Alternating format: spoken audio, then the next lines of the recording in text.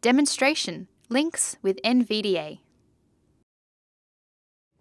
Descriptive links are important for students who use assistive technology because some students who are blind or have low vision might be using a screen reader program like NVDA to read out what's on the screen.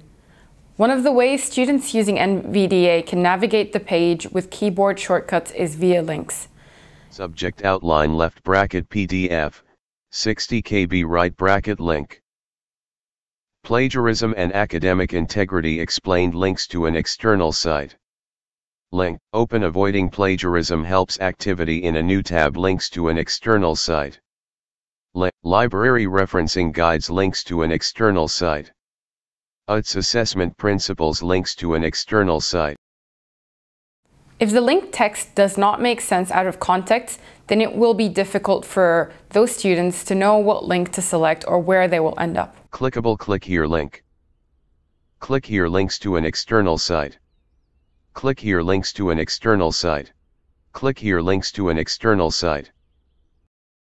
Click here links to an external site.